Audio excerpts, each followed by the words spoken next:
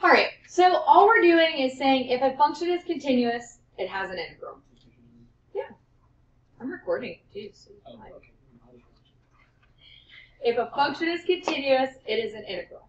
It is integratable, rather. So, for example, we have this green, crazy looking curve. Is that green, crazy looking curve continuous? Yes. We are given that the area under this curve is 3, and the area from this curve to the line is 7.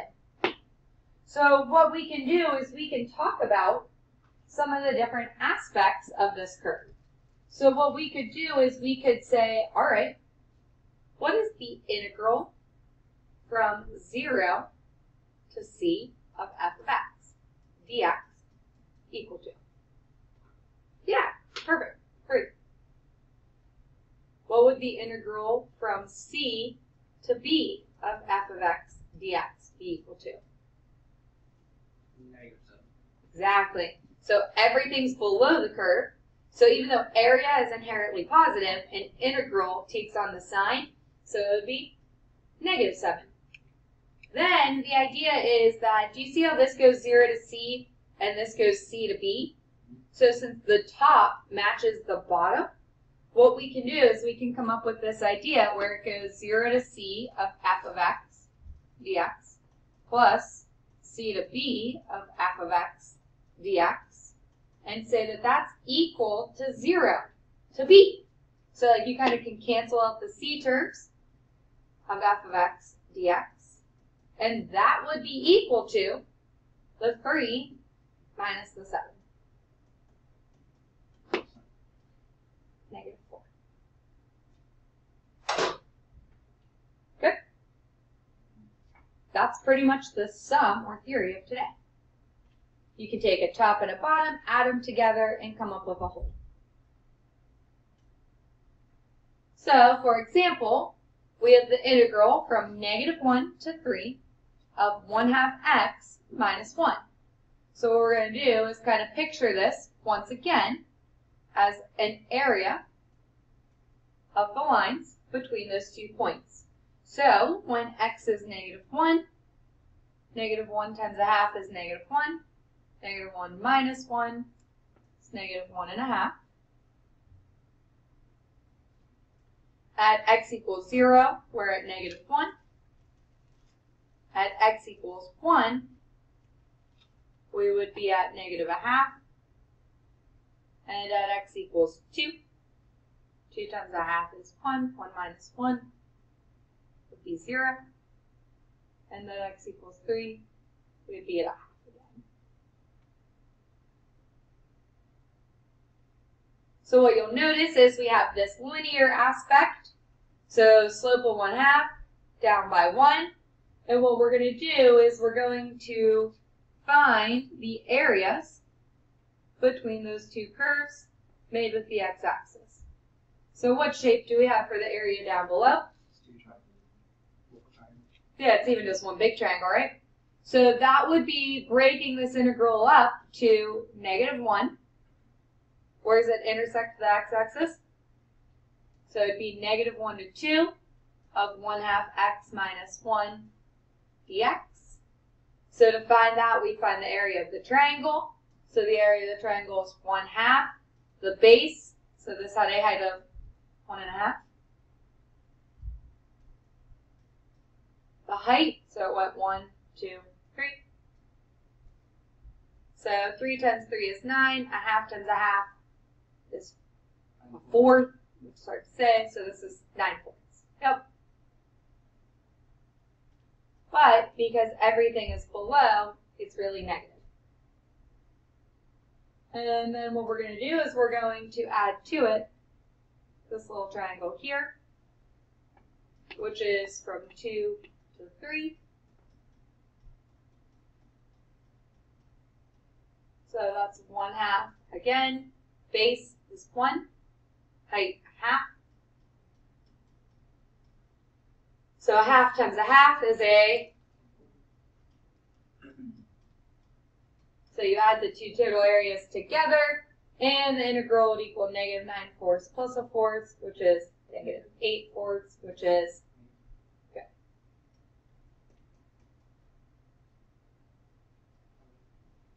See, not terrible. Lots and lots of triangles again.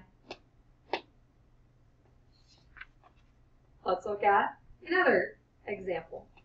So, same idea, but now we have a curve that's shifted up 3 and a slope of 1 half again.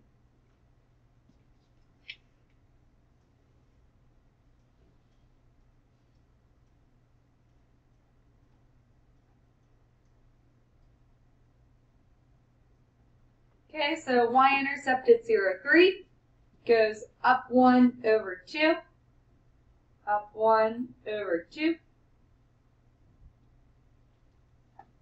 down 1, up 2, down 1 over 2.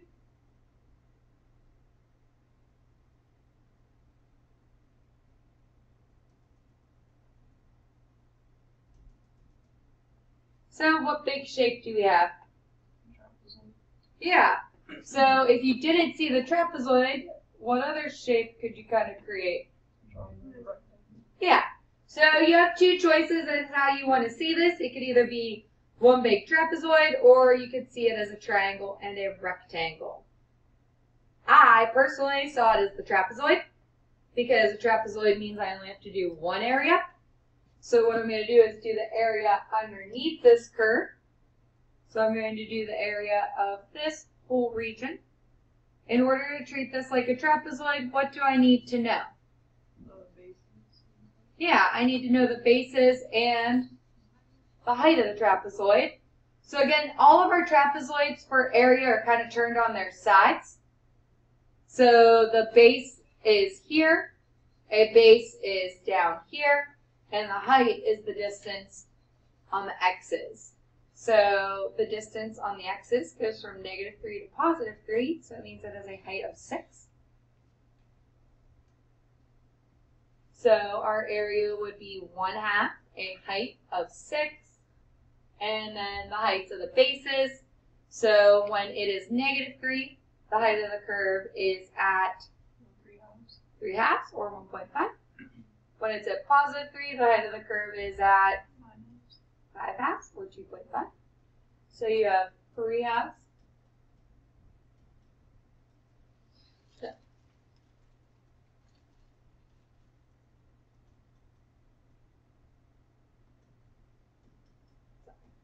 Five and a half. Okay, so add those together. Would you? Five halves. It should be it's nine halves. That's yeah. what I said. I was like, shit, five and a half.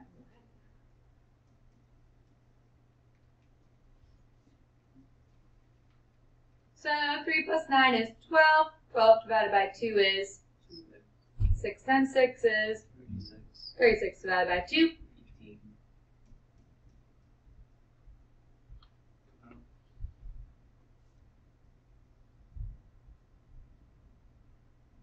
What type of shape is that? Yeah, it's a circle. And then the negative 3 shifts it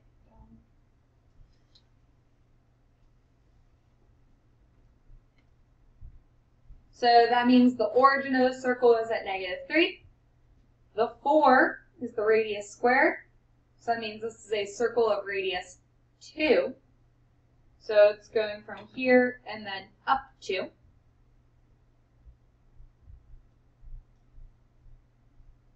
So at 2 would be at negative 3. And at negative 2, it would also be at 3. That's why they picked negative 2. Wow, that kind of super off.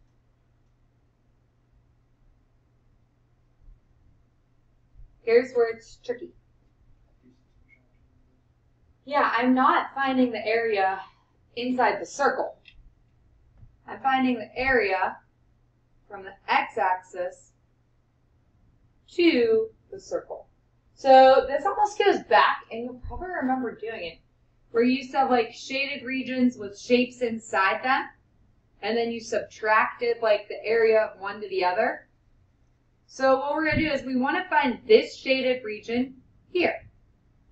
So what we're going to treat it like is a big rectangle.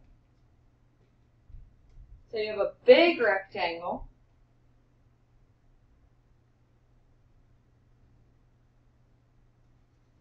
And we're going to subtract away the area of a semicircle. Okay?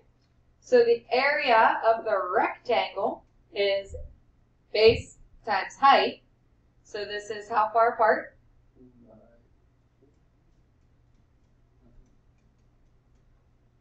So the area of the rectangle would be a 4 by 3. And then the area of the circle is only half of it. So we have the area of a semicircle. So it's half pi r squared. So we said it was a radius of 2.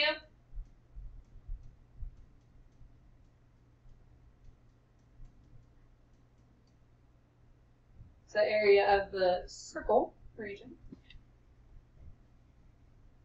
would be 2 pi. So I want to take the rectangle minus the circle to find the pink. So it'd be like 12 minus 2 pi. Now, that is talking inherently about area. How can I make that reflect the idea that this rectangle is below the x-axis? Yeah. So this would have to be a negative 12. Exactly, and then it's going to turn to a positive 2 pi because it's like minus a minus. So truly, the integral would be negative 12 plus 2 pi. So it's like the opposites because it's below. Does that make sense? Okay.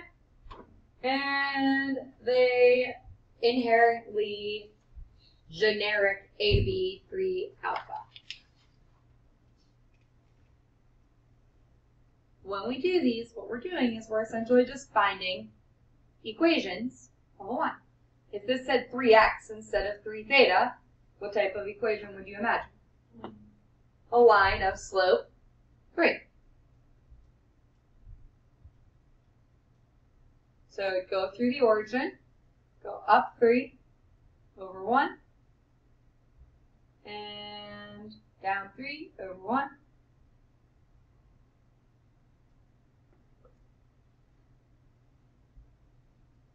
There we go, six.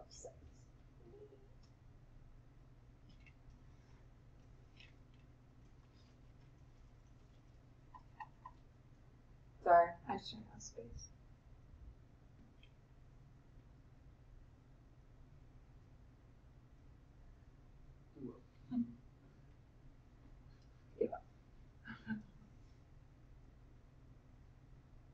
Sure, my drawings are so pretty.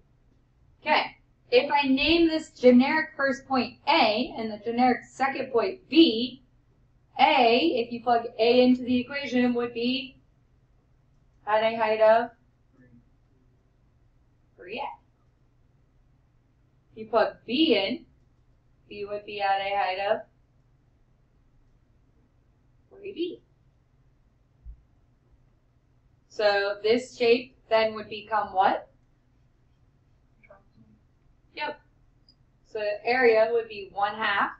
The height would be the distance from A to B. Since I don't know what that is as a number, I have to take B minus A. Because I want to get rid of this space here. And then we add our base heights. So it would be 3A plus 3B.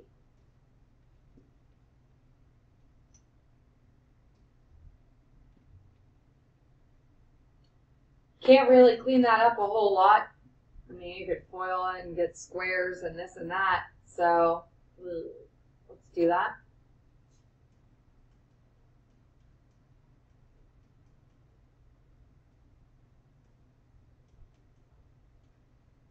So you get 3ab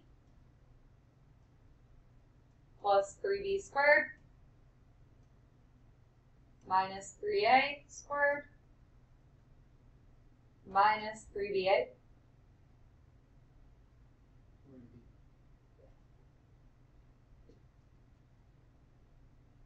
So cancel.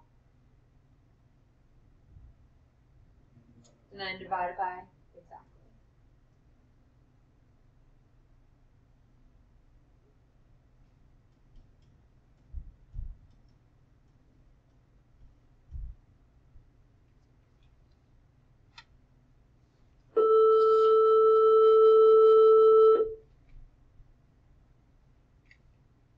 Okay, homework will be in the book. We'll, we'll do that problem as a warm up on Monday. We already did some of these. Let's see what we haven't done. We did the twenty-five. I believe you can do thirteen to twenty-one. Um,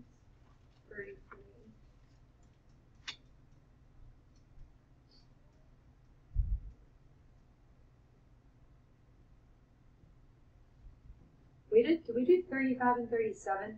We did thirty-five. So we didn't do thirty-three.